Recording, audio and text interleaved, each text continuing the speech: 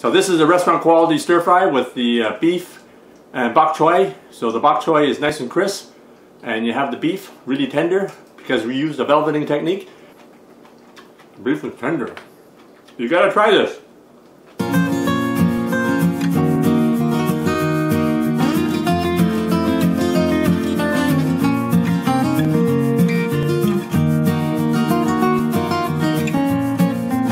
Now you can order the products and ingredients that I use in my cooking videos.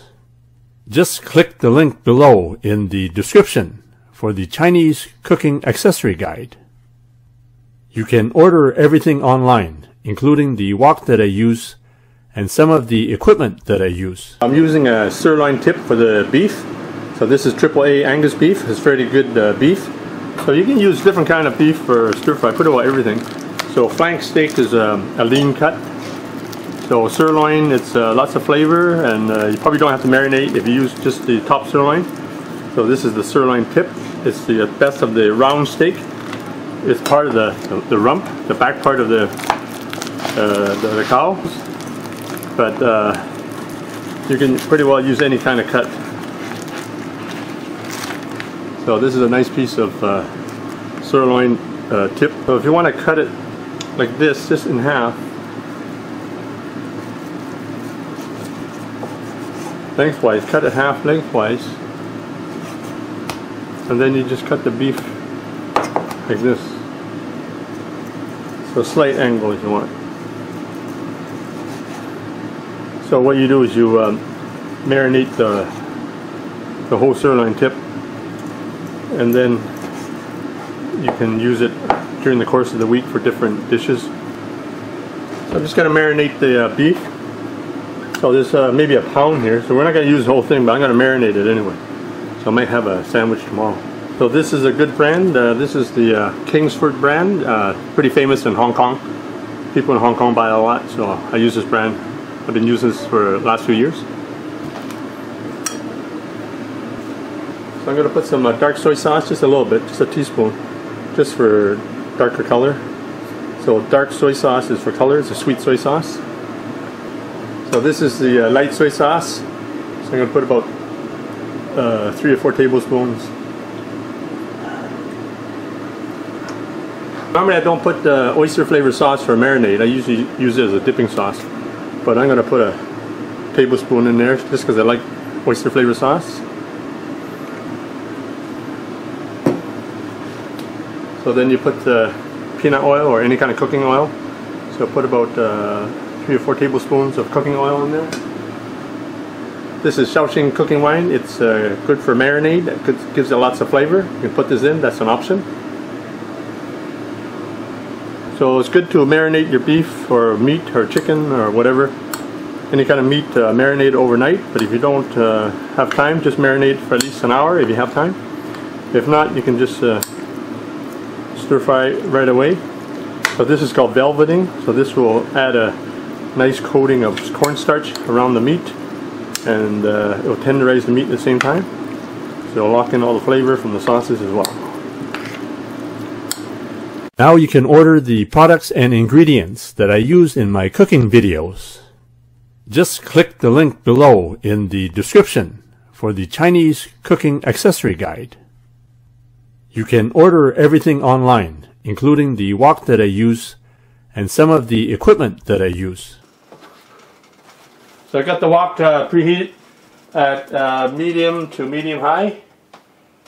So I'm going to put about uh, three tablespoons of cooking oil in here. Put about a tablespoon of chopped ginger and garlic. So what I do next is just put the uh, put the uh, bok choy. You can use other kind of veggies. You can use the Shanghai bok choy. You can use a gailan, uh, Chinese broccoli, whatever you like. So get a get a good uh, wok haze in the veggies here.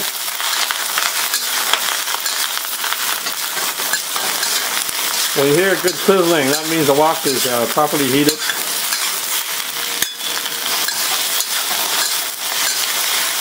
So you see all the uh, sear marks here, right? Nice sear marks. That means you got uh, some wok hei going. Wok hei is when you sear the veggies in a carbon steel wok for any kind of wok, you get that uh, seared flavor. That's called wok hei, the breath of the wok. So now I'm just going to put some uh, salt. I have the uh, natural sea salt. I'm just going to put about half a teaspoon in there. If you uh, want to omit it, that's fine. So I'm going to put in uh, some uh, regular soy sauce, also known as light soy sauce. Put a couple tablespoons in there. So this is the uh, oyster flavor sauce. This is different from the one I usually use. This is the uh, Panda brand. It's also made by Lee Kum Kee.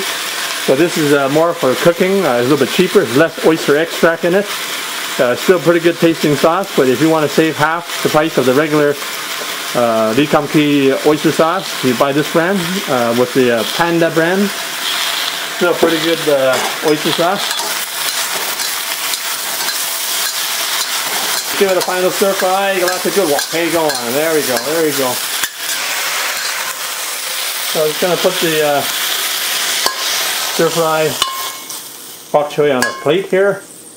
I have a pretty large plate here, so just uh, spread it out a little bit there like that.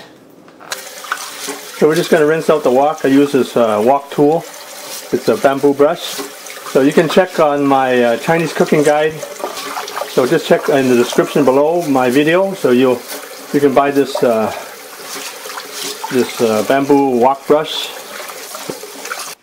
We're just going to put a little bit of uh, cooking oil there. So put about a tablespoon in there. So I'm just going to wipe this uh, wok down with with a paper napkin. Uh, this uh, reseasons the uh, wok. So I'll let the uh, wok heat up again at uh, medium to medium high. So once again, uh, I'm going to put about three tablespoons of cooking oil here. So I'm going to put a teaspoon of chopped garlic, a teaspoon of chopped ginger. Put that in.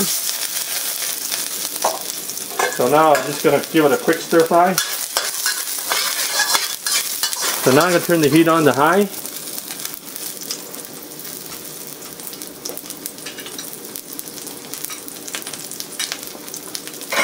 So this is the beef that I marinated yesterday with the cornstarch and the different uh, ingredients. I have about six ounces of uh, beef here. You need anywhere from uh, four to six. Although some Chinese restaurants, you only put in uh, two or three ounces. But since you're cooking and since you're eating, do whatever you want. Put more beef if you want, or less if you want. So I've got the heat on high, just gonna sear for, for a few seconds there. So now we're just gonna turn the beef over. So the beef has marinated. The beef has been marinating for overnight, so it's really tender. So you don't want to overcook the beef though. You can uh, cook it, let's say, medium to medium well. You can cook it well done too if you like. So now I'm just gonna put a bit of salt in there. Once again, it's the uh, sea salt, the natural salt. You don't want to put salt if you don't want to. If you don't want to have too much salt, I put a little bit in there just for flavor. And I'm going to put some more of this light soy sauce. A couple tablespoons. And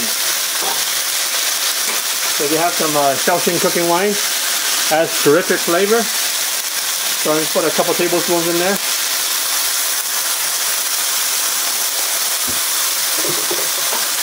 And then you put some of this uh, oyster flavor sauce. So this is the cooking one, so half price of the other one.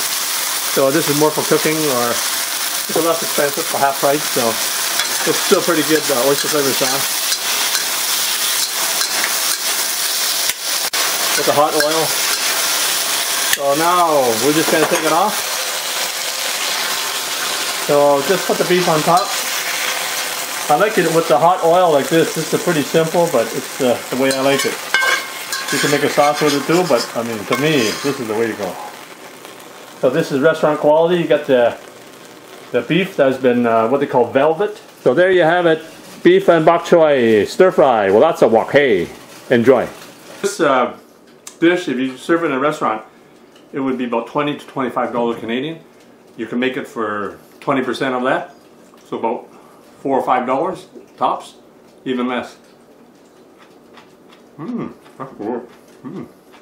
Thanks for checking out my video. Please like and subscribe. Any comments are always welcome.